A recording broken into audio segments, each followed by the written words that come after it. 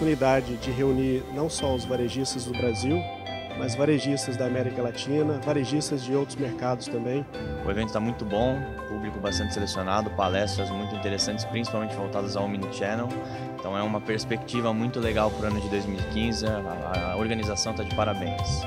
Retail Congress in Sao Paulo. It's been a fantastic two days, very well attended, covered some excellent topics for discussion, and uh, we're hoping to see continued retail growth.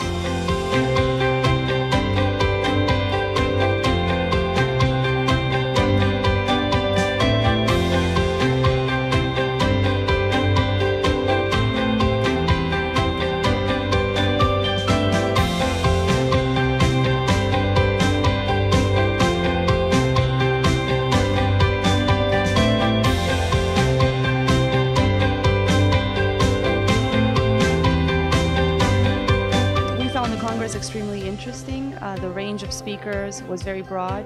Uh, it's always interesting to hear uh, some of the top retailers in the region uh, explaining to us how they became successful, what their challenges are, and where they need help.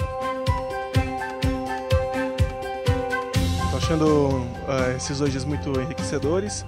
Uh, acho que a gente tá, pode, pode passar por um panorama uh, pelo cenário econômico e assistir alguns cases de algumas marcas relevantes e acho que durante esses dois dias já poder juntar um monte de referências para aplicar os nossos negócios.